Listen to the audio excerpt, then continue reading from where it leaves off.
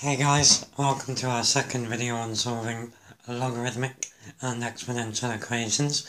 So in this one, I've decided to just do exponential equations and harder versions than the ones we've seen so far.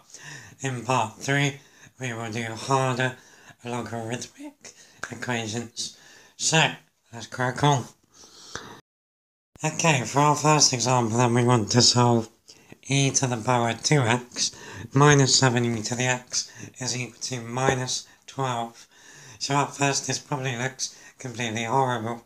Now we can't take the log of both sides.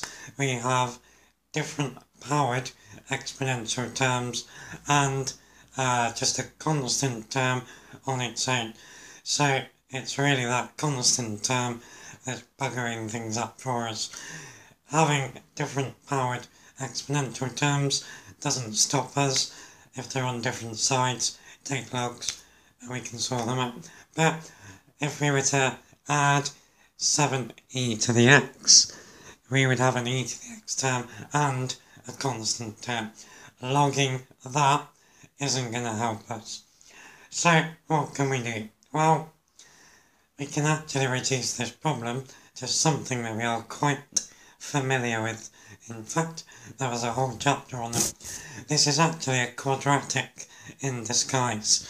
So, e to the power 2x is actually e to the x times e to the x.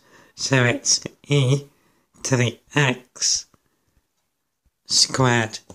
So what we're going to do is use a clever bit of substitution to turn this into a normal quadratic, at least at first.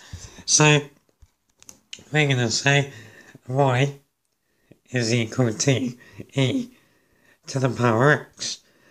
Then that also means y squared is e to the power 2x. So we can now rewrite this equation in terms of y. So e to the power 2x is y squared minus 7 e to the x is minus 7y and then that is equal to minus 12. So now we've got ourselves a nice normal quadratic. So now we need to solve this guy. So we need to add 12. So y squared minus 7y plus 12 is equal to 0 this factorizes to y minus 3, y minus 4. So that tells us y is equal to 3 and y is equal to 4. So that's when we can now undo our substitution and this tells us what e to the x is equal to sec e to the x is equal to 3 or e to the x is equal to 4. So let's solve these guys separately. So if e to the x is equal to 3, we need to undo e to the x, for which we take the natural logarithm of both sides. So we would get x equals the natural log of 3, or on the right, if e to the x is 4, take the natural log, and we would get x equals the natural log of 4. We've solved the equation. Good times. Okay, next example, we want to solve 3 to the 2x minus 1 equals 6 to the 3 minus x. So, we got exponentials on both sides, we can log both sides. So, we would get log of 3 to the 2x minus 1 equals log of 6 to the 3 minus x. remember it doesn't matter what base our logs have as long as they both have the same. So either use just log log, which is log base 10, or you could also use the natural logarithm ln. You would get to the same answers. Okay, so now we're using the laws of logs, the powers come down in front and multiply the term.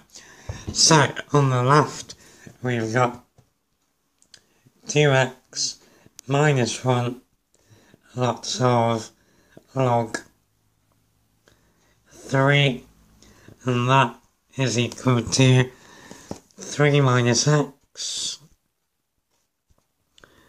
lots of log 6. So remember the aim of the game here is to get x on its own. Now it's a bit of a pain that we've got an x on both sides and both of them are stuck inside of a bracket. So what we're going to have to do is expand the brackets. So we're going to get 2x log 3 minus log 3 is equal to uh, 3 log 6 minus x log 6.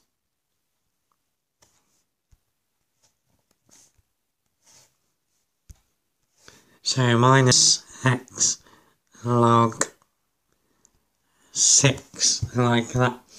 Now then, we want to get the x terms on the same side together. So I'm going to add x log 6 to both sides. So we're going to have 2x log 3 add x log 6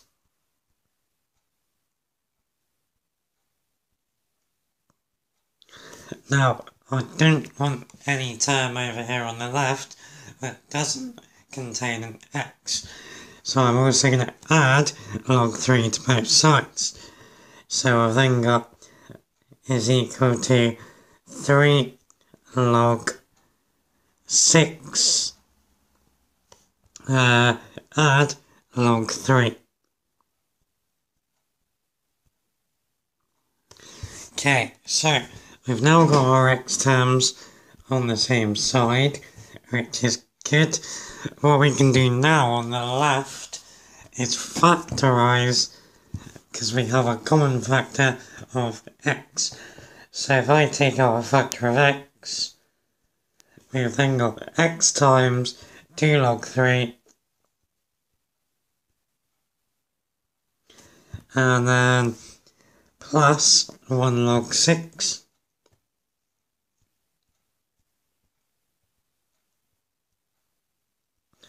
So that is equal to uh, 3 log 6 add log 3.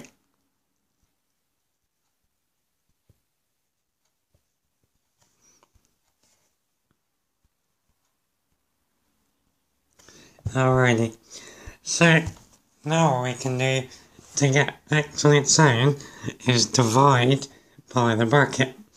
So we get x is equal to 3 log 6 plus log 3 divided by this bracket. So divided by 2 log 3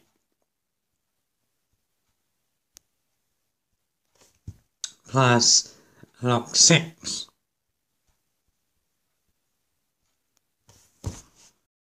Now you could plug that into a calculator and get an answer. To me though that's not looking very nice to do, so I'm going to tidy up a bit first, using the laws of logs. So,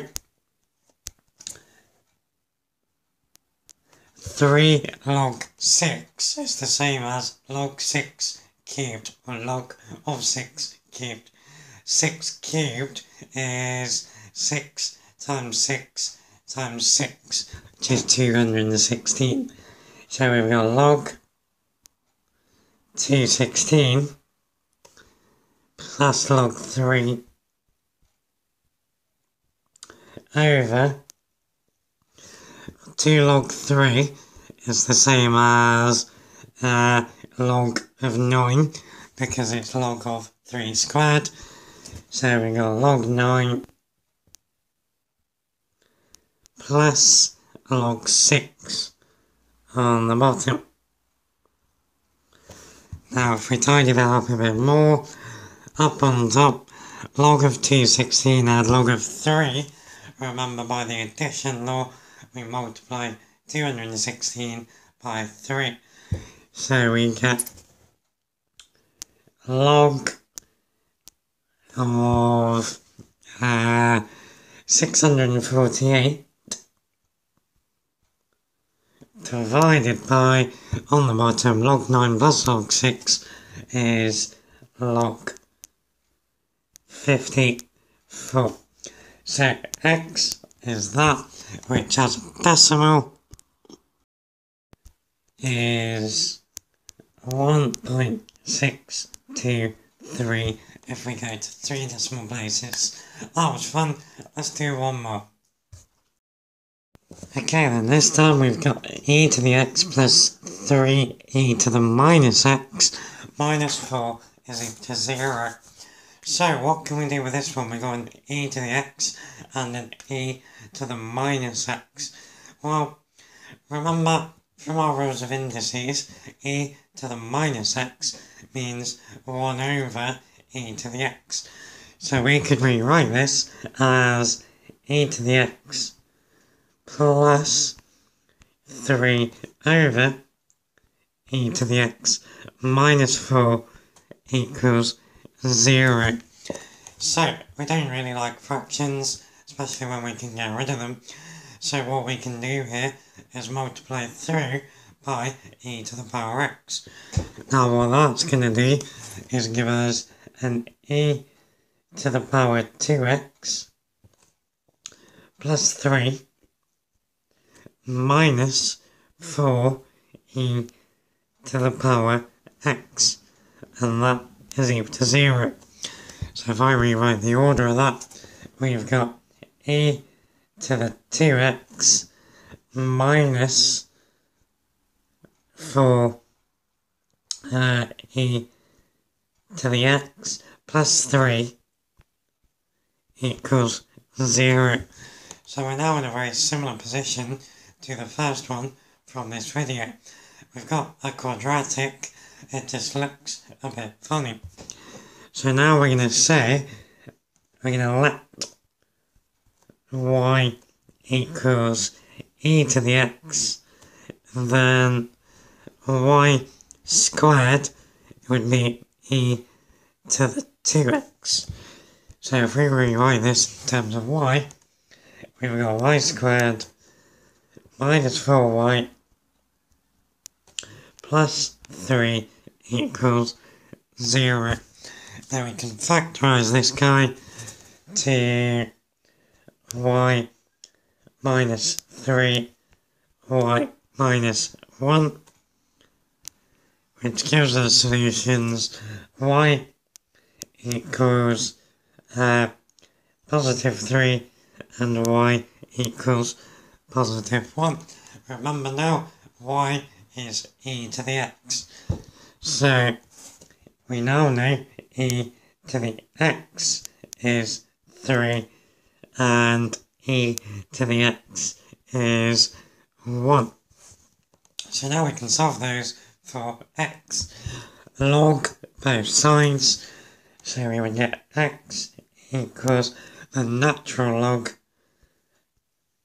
3, or on the right, x is the natural log of 1, which is actually just 0. There we go guys, jobs are good. Okay, that's it for this one. Next up, we're looking at harder logarithmic equations. It's going to be fun. Hope to see you there.